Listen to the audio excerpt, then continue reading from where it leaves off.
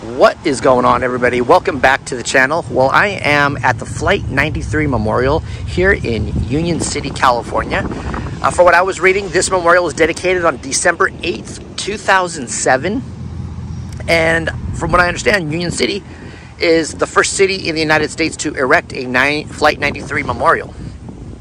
And when you first walk in, there's three center stones here, or three stones on the side here. Um, one is the story of the heroes of Flight 93. It just talks talks about the events of September 11th, 2001. Um, and the, the second stone is the story of the memorial. And then the third stone are, is basically the, the donors and sponsors of this project.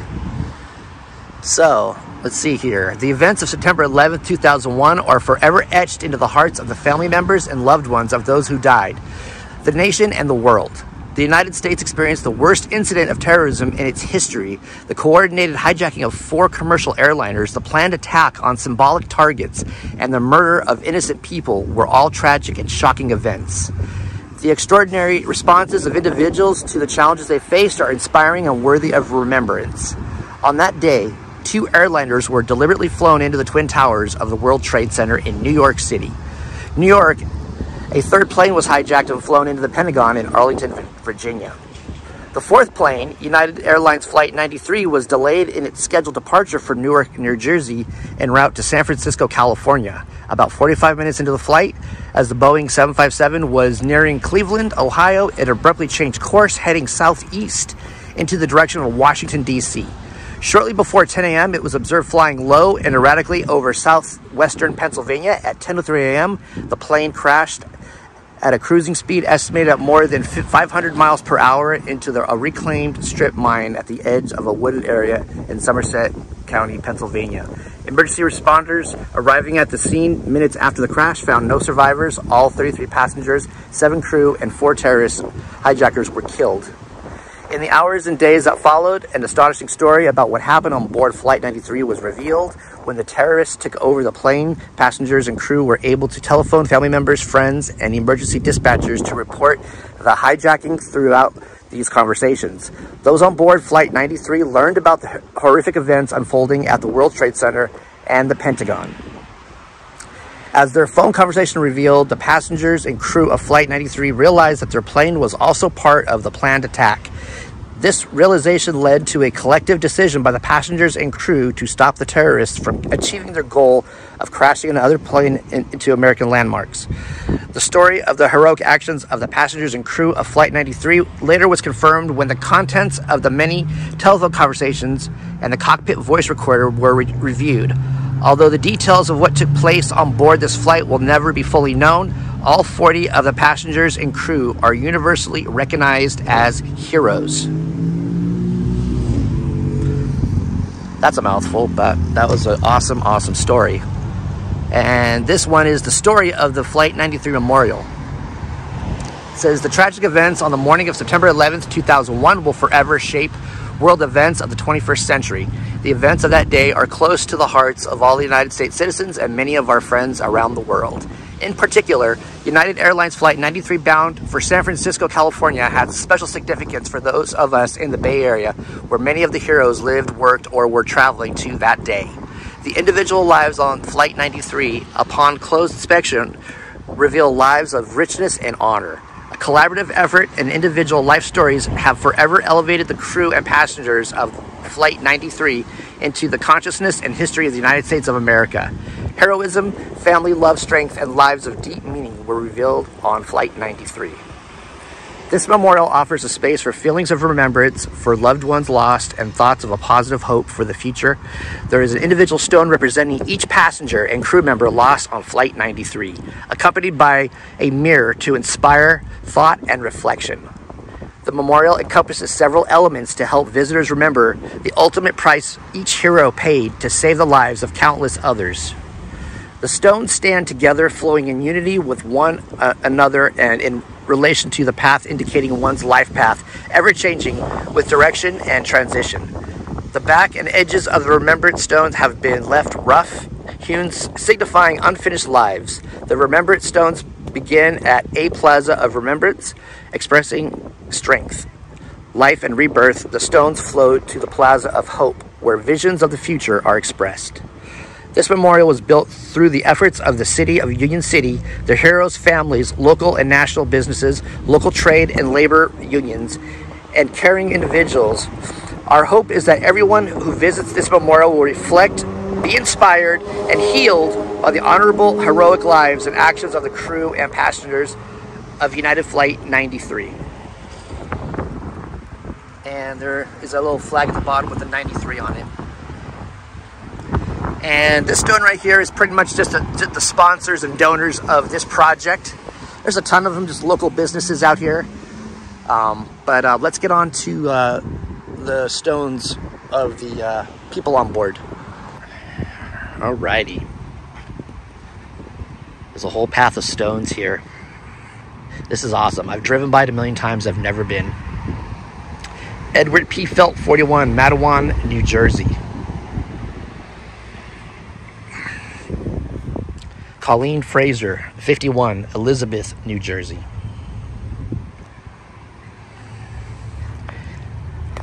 Andrew Sonny Garcia, 62, Portola Valley, California. Waleska Martinez, 37, New Jersey City, New Jersey, 37. Hilda Marcin, 79, Mount Olive, New Jersey. C. Miller, 21, San Jose, California. Louis J. Knack, second, 42, New Pope, Pennsylvania. New Hope, excuse me, Pennsylvania. Christian Adams, 37, Biebelsheim, Germany.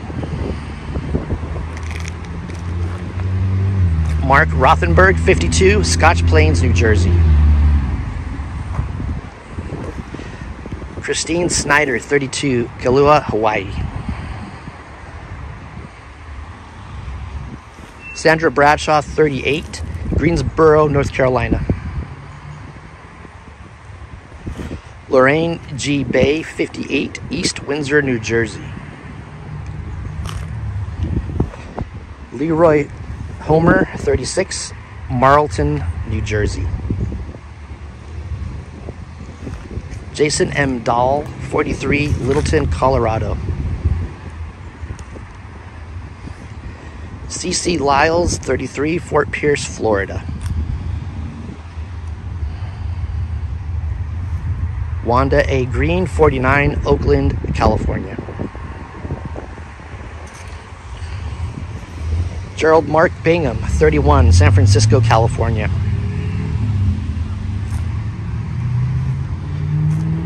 Toshiya Kuj, 20, Osaka, Japan.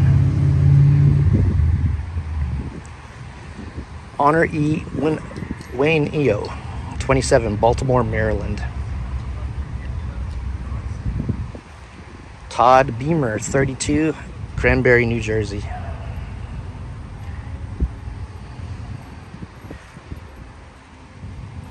Donald A. Peterson, 66, Spring Valley, New Jersey. Jean Hoadley Peterson, 55, Spring Lake, New Jersey.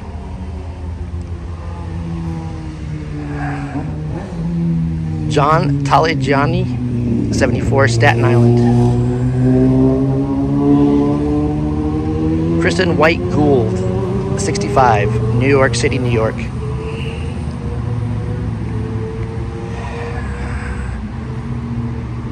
uh, Lauren Grandcolas, an unborn child, 38, San Rafael, California. Joseph DeLuca, 52, Susquehanna, New Jersey. Linda Gronlund, 46, Greenwood Lake, New Jersey. Richard Guadango, 38, Eureka, California. Donald F. Greene, 52, Greenwich, Connecticut. Greenwich, excuse me. However, you might pronounce that. Jeremy Glick, 31, Hewitt, New Jersey. Georgine R. Corrigan, 55, Honolulu, Hawaii. Marion R. Britton, 53, Brooklyn, New York.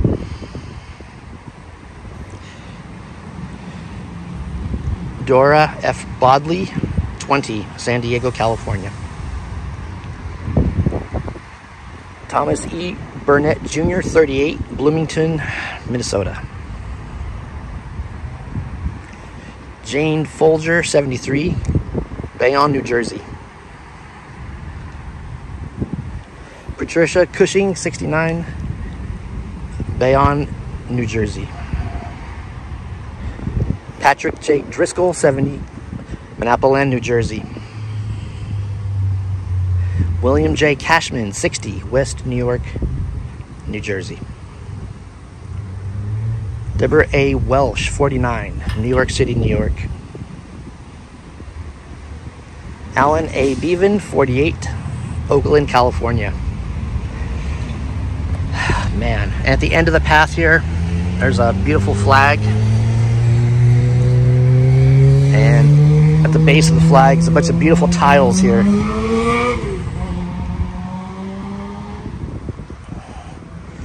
Some of the tiles say spread the love, peace. Some of them just have pictures. It looks like of the local school kids. Looks like probably did these drawings and paintings. This is truly beautiful. I know when I was reading some of the last names or some of the, the you know, you know, you know, intricate last names. I probably messed up with some of those, but did the best I could. Sometimes I'm bad at pronouncing names. But this uh, memorial here is just beautiful. And I finally pulled over the car and came to look at it, just because I never have.